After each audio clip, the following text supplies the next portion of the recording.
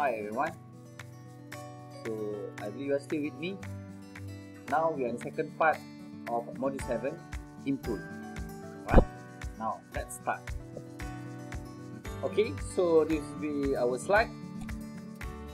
So as I said before, please use earphones, earbuds for better audio. So these are the objectives uh, for part 2 of input. So I want to discuss on motion input, voice input and video input. Then next part will be I will focus on scanners and other reading devices. Let's start with motion, voice and video input. So uh, many of uh, today's computers, mobile devices and game devices support motion, voice and video input. With motion input, sometimes they call as gesture recognitions, where, users can guide on screen elements using air gestures. So air gestures involve moving your body or handheld input device through the air. With motion input, a device containing a camera will detect your gesture and then uh, converts it into a digital signal that is sent to a computer, mobile or game device. So for those uh, students that might uh, always uh, play with Xbox Kinetic, they might be familiar with this kind of motion input. Now let's go to voice input. Voice input is the process of enter input by speaking into a microphone. The microphone uh, may be built in the computer or device, in a headset, or an external uh, peripheral device that uh, sits on top of a desk or other surface. Users of voice input normally will use voice recognition system. So this voice recognition also called speech recognition, where the computer or mobile devices have the capability to distinguish uh, spoken words and other vocal components. Some computers uh, and mobile devices make use of built-in and third-party voice recognition applications which have a natural language interface. So mobile devices such as iPhone, it will use Siri to speak simple task-based instruction to the device such as setting an alarm, enter a calendar appointment, or making a call. As you can see in this example of figure 7 graph. Then we have audio input.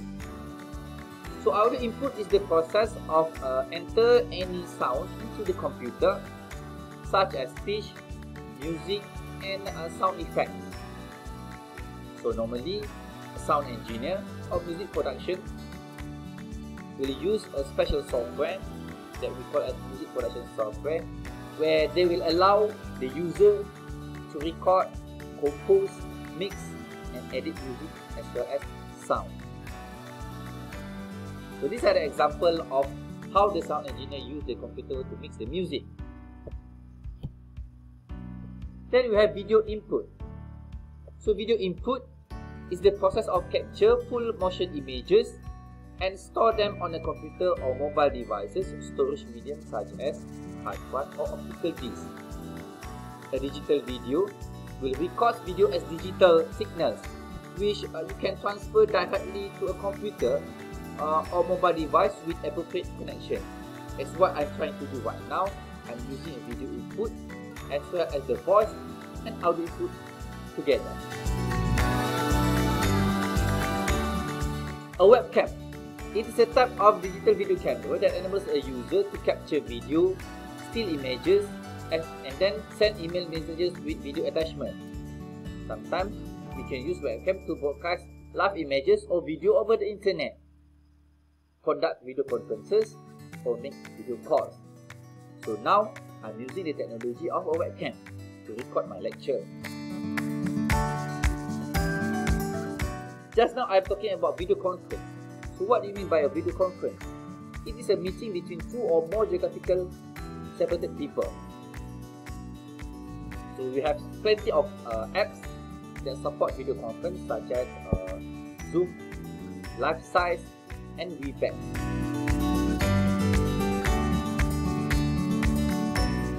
Now let's move to scanners and reading devices. So a scanner is a light sensing input device that reads printed text and graphics and then translates the result into a form the computer can process. Normally people will use a flatbed scanner where this kind of scanner will work in a manner similar to a copy machine except it puts a file of the document in a memory instead of a paper copy. So these are the steps on how people will use the scanner.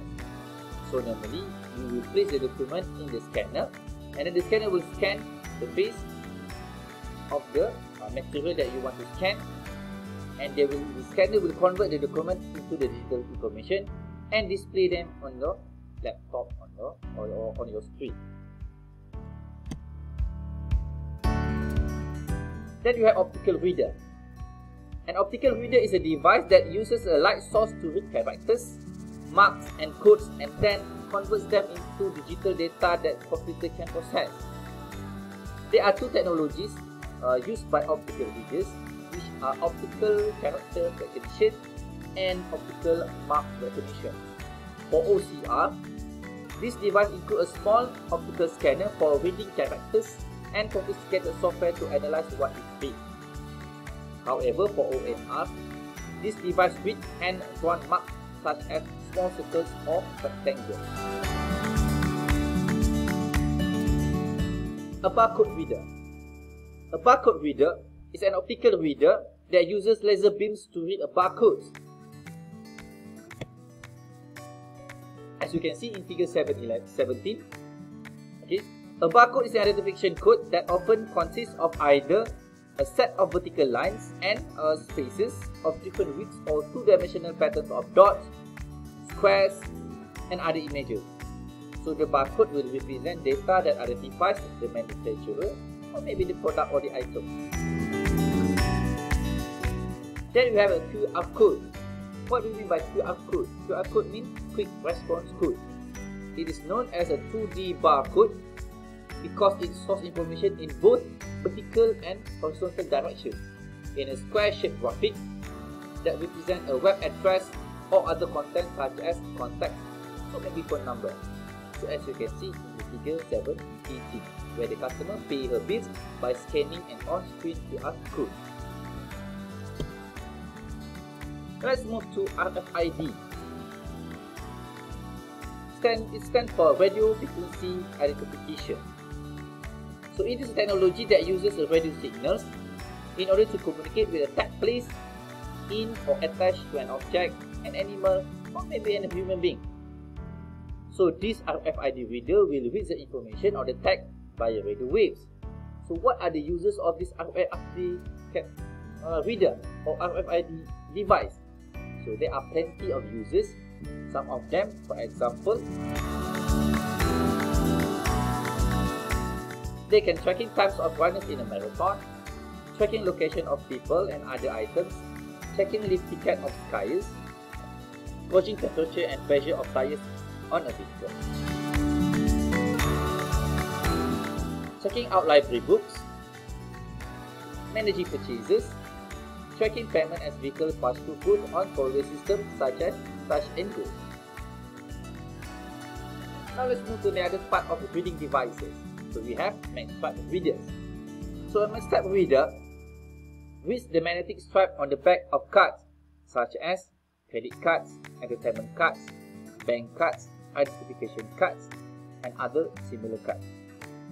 So this stripe at back of the cards will contain information that identifying the user and some information stored in the stripe may include your name, account number, the card's expiration date, or a country code.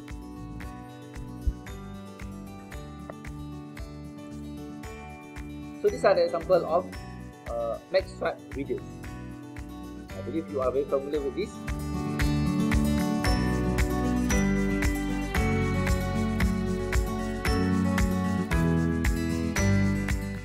Go to MICR. MICR stands for Magnetized Ink Character Recognition Devices that you can read text printed with magnetized ink. An MRCR reader convert MRC character into a form the computer can process. Normally, the banking industry will use MRCR for check processing. Each check in your checkbook has pre-coded MRCR characters beginning at the lower left edge, as you can see in the figure 731. This is an example of check. Then we have scanners, such as data collection device. So instead of reading or scanning data from a source document, a data collection device obtains data directly at the location where the transaction or event takes place. For example, employees as you can see in 722 use a barcode readers, handheld computers or other mobile device to collect data wirelessly. So that's all for the second part of input. So we will continue with the next part of uh, module 7 with output. So stay tuned. Bye.